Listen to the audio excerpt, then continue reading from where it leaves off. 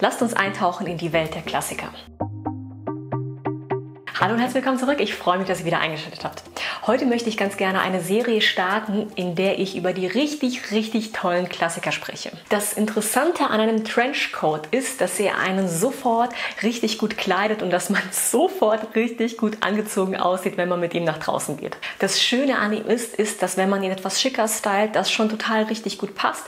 Aber wenn man ihn ein bisschen sportlicher stylt mit der Jeanshose oder einer Jogginghose sogar, das einen richtig tollen dynamischen Look ergibt. Er ist nicht diese typische olle Jacke, die man so hat, mit der man rausgeht und die einfach nur Hauptsache wetterfest ist, sondern er ist so ein Allwettermantel, der, wenn man ihn anzieht, man auch draußen sehr gut aussieht. Ich habe das Gefühl, manchmal, wenn man so ein bisschen Styling betreibt, dass das häufig einfach wirklich nur die normale Bekleidung betrifft, Shirts, Hosen, Pullis und so weiter, aber dass halt Jacken ganz, ganz häufig außen vor gelassen werden.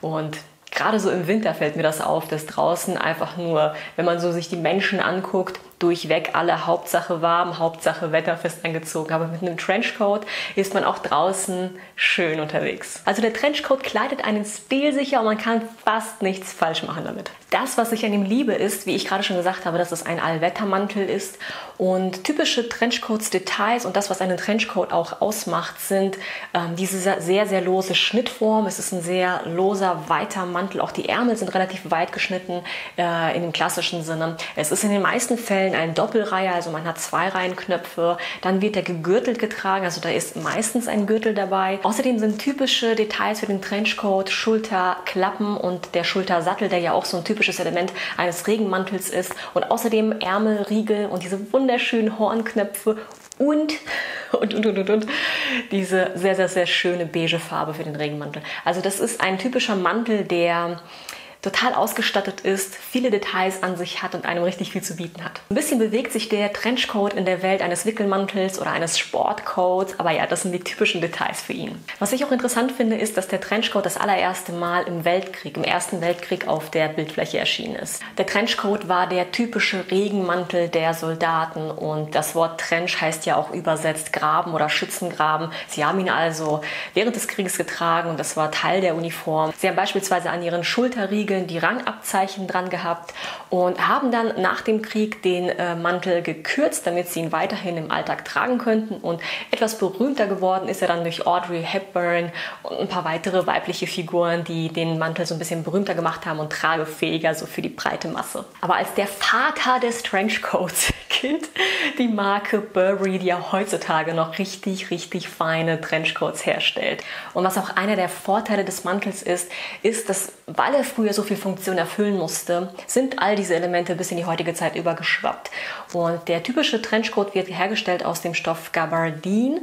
Das ist ein sehr, sehr fester Stoff, der wasserabweisend ist und auch heutzutage werden in den meisten Fällen ähm, Stoffe wasserabweisend ausgerüstet, sodass man ihn als Regenmantel tatsächlich hernehmen kann. Aber natürlich gibt es den Trench heutzutage auch in allen möglichen Varianten, auch Herbstvarianten, Frühling, Sommervarianten, die ein bisschen leichter hergestellt sind, beispielsweise auch Teile ohne Ärmel, also wie so eine lange Weste. Es ist nicht immer dieser feste Regenmantelstoff, aber ja, der klassische Trenchcoat ist schon ein bisschen fester und ist auch breiter geschnitten. Auch mit breiteren Ärmeln und Form bringt man da eben durch den Gürtel rein, den man sowohl vorne vorne zuknöpfen oder zuknöpfen nicht, zumachen oder zubinden, kann aber auch gerne hinten.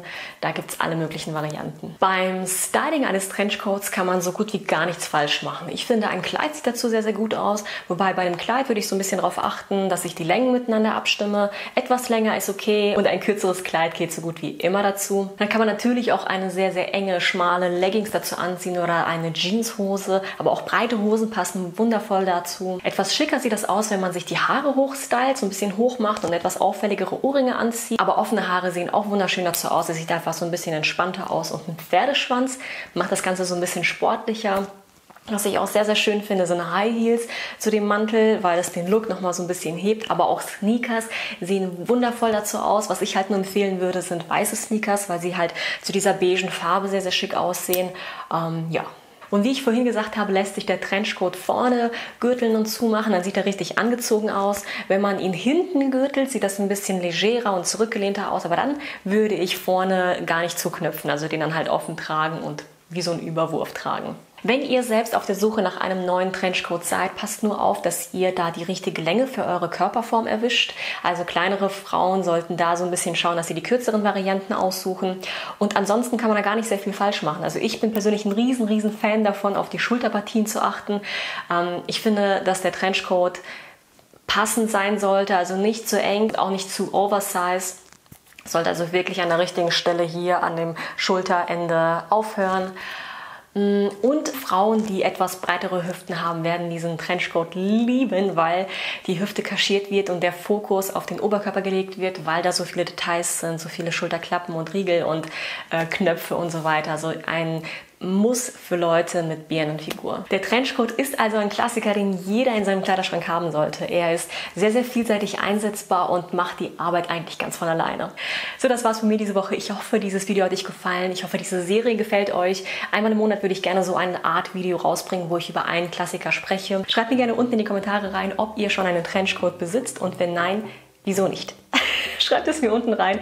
Ich bin gespannt, was ihr zu sagen habt, auf euer Feedback, eure Meinungen. Schreibt sie mir unten rein. Ansonsten wünsche ich euch noch einen wundervollen Tag und wir sehen uns nächste Woche. Bis dann, ciao.